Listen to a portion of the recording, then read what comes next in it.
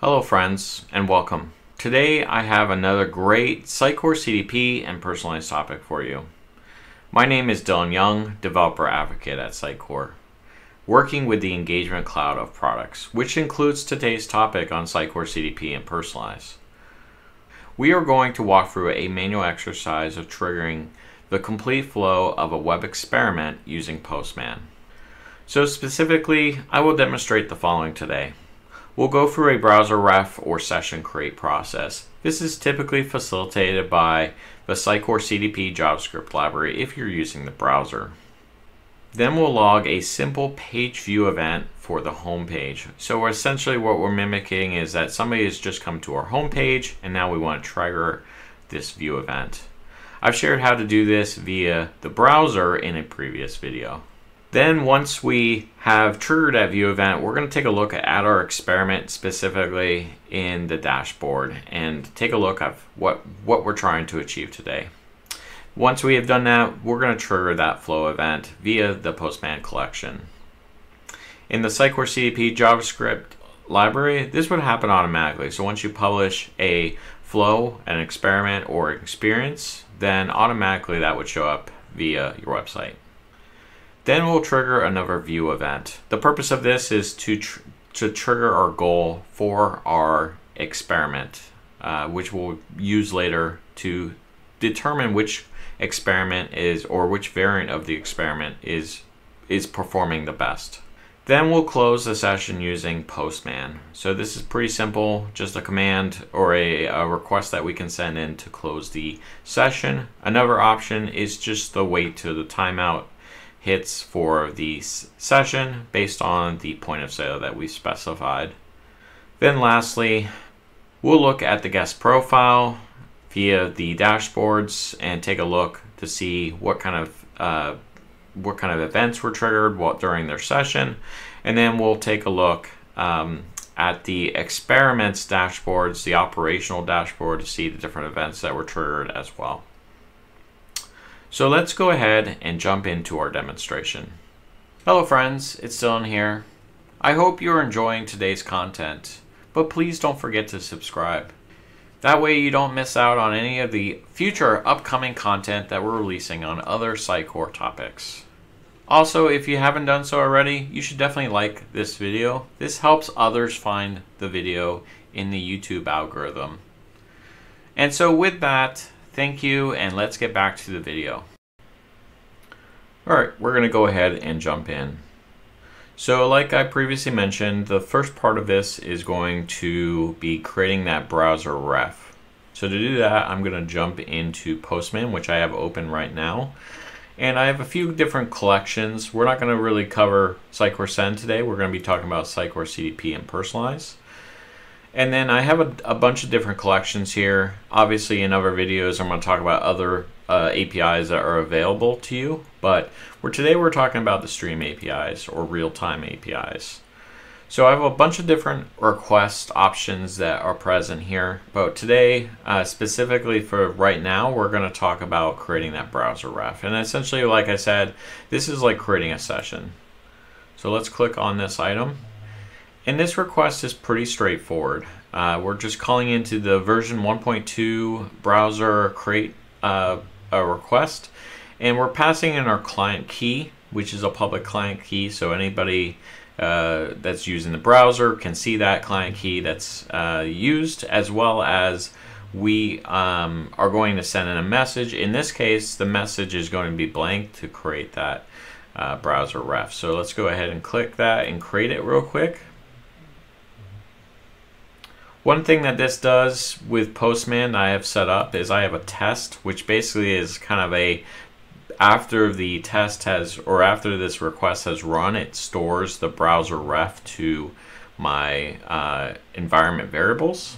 So once once we have that back, one thing we can do is jump over to our CDP Personalize tenant. This is a CDP and a Personalize tenant, so a Smart Hub solution and so it has both products inside of it.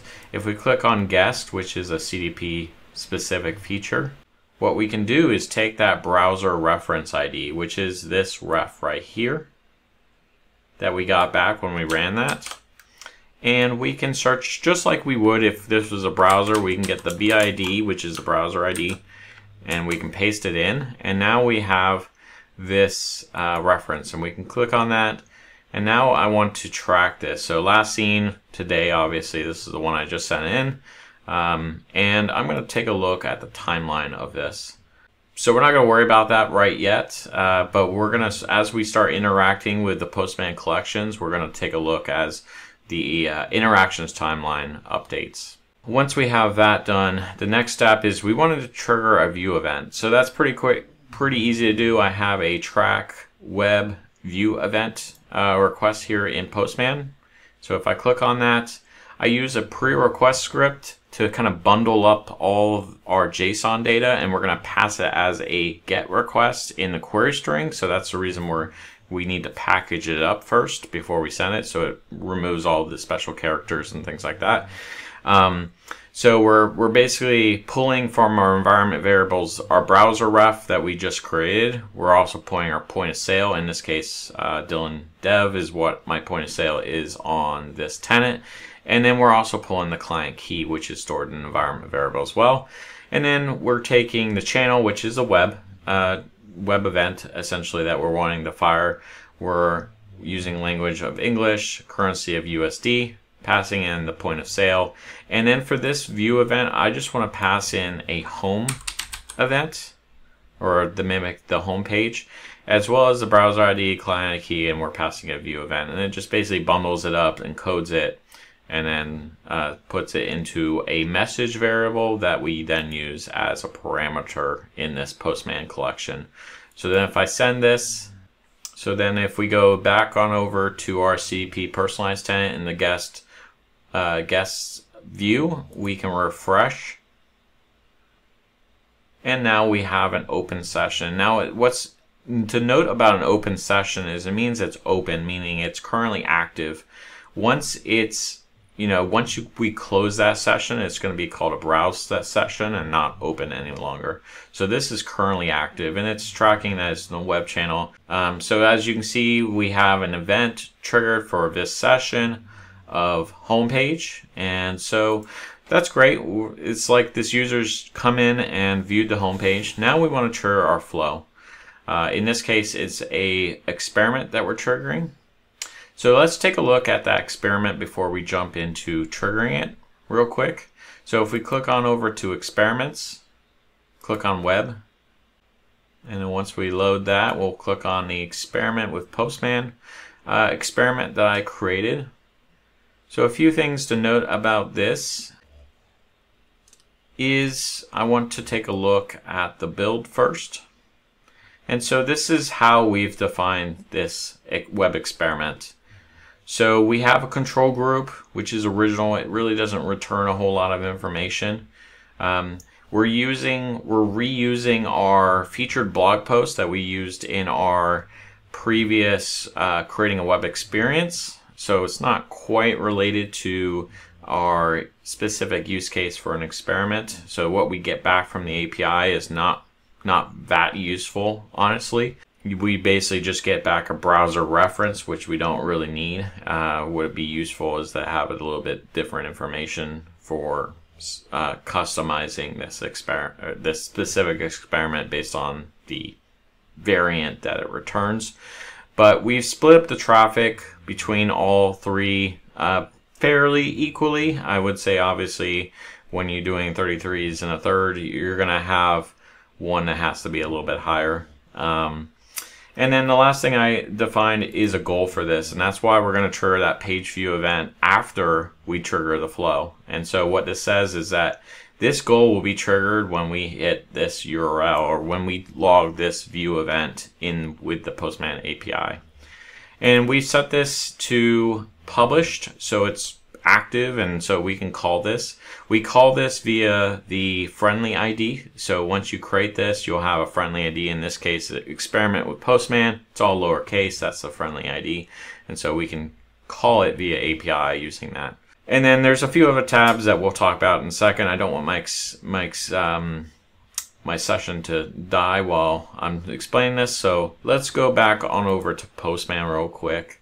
And now we're going to trigger a flow event or flow execution. Flows is just a kind of higher level definition for an experiment or an experience. It's just a kind of developers uh, of CDP and personalized is called those flows. And then there's differentiation in the UI and other aspects that are specific to if it's an experiment or if it's a experience. So let's run that experiment and just like before, I have a pre-request script that basically bundles everything together that we're sending. We're sending a channel, a language, a currency code, uh, point of sale, the browser ID, client ID, key all the same things that we had before. We're just now passing in that friendly ID, and we're obviously calling v2 call flows. So I'll go ahead and click send. Like I said, because we're using that web experience template that we used previously in a, another video, all it returns in that API tab is the guest ref, which isn't particularly useful here. Um, but now that we have that, we can jump back to the customer data's guest page. And let's just take a look at how this has changed. We'll need to pass in the BID again which hopefully is still the same. Hopefully I didn't copy something else. And if we go back to this page, we go to timeline, we still have that open session. And it doesn't, for some reason, didn't show the flow in here, but I there's another dashboard we'll show in a second that shows those executions of those flows. But before we're done with this, we actually want to trigger the goal completion for this web experiment. So to do that, we actually have to trigger, as we previously showed, the experiment has a goal of when you go to a specific page that attracts a goal to that experiment, whichever variant that it uh, has selected for this specific session. That will trigger a goal for that specific variant, and then that will help determine which one is the winner down the road. Um, so to do that, uh, we're just going to go back to our tracking web view event. And this time, I want to specify in the pre-request, I want to specify a different URL. I'm going to specify campaign. And that's the URL that we specify is the goal page. And we'll go ahead and click send. And that's our response. Um, so let's go back on over to Sitecore CDP and personalize or the CDP guests profile page and refresh the interactions timeline. And now if we click the view session details, we can see that the view, they viewed the uh, slash campaign page or the API. I triggered them to view the campaign page. So that's it for that. Let's. Uh, the last thing I need to do now is I need to kill the session or end the session or or close the session, however you want to uh, say that. So I have another endpoint over here, you similar to some of the other endpoints, but we're gonna pass in a very specialized uh, message for this, and all we're really needing to do is is provide this force close option and then we provide all the other details that we had previously. And so we'll do a send. And so once that is returned, we'll just refresh over here in Sitecore CDP's interaction timeline. And now we should see that it's a browsed session, basically meaning that the set, this session, this specific session has ended. The session duration was six minutes, so fairly quick. But if we go to if we go to the experiments page, and the web interface here and we view our experiment, we can get a little bit more detail about the experiment as it has run. So we can go to the experiment with Postman page. That's our experiment that we were running. And then once we're on this page, the performance tab would show up once we once this experiment has run for longer than 24 hours. At this point, I scheduled this this morning, so it hasn't been 24 hours yet. But the operational tab is a, a tab page where it will show everything that's happening, all the flows that have tr been triggered of this specific experiment in the last 15 seconds. So it keeps updating fairly regularly. And so you can see our web experiment that we triggered via that flow API. We have a successful execution. This is the one, it's return back variant one. I didn't know that because my browser ref or the the API response is is kind of vague of which actual variant is firing.